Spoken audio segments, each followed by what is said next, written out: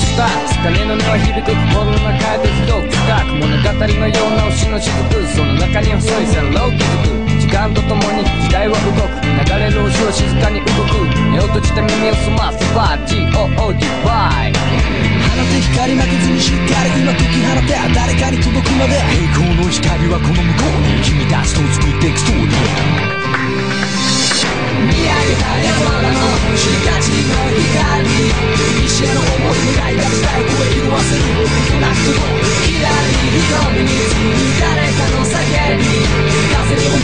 君以外も力あった